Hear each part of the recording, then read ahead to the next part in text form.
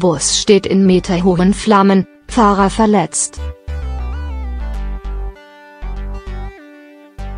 Am Samstag ist ein Bus wegen eines technischen Defekts in Flammen aufgegangen. Der Fahrer wurde nur leicht verletzt. Beim Brand eines Busses in Mühlacker, ins Kreis, ist der Fahrer verletzt worden. Wie ein Polizeisprecher sagte, war der Bus am Samstag wohl wegen eines technischen Defekts im Bereich des Motors in Brand geraten. Der Fahrer versuchte daraufhin, das Feuer zu löschen.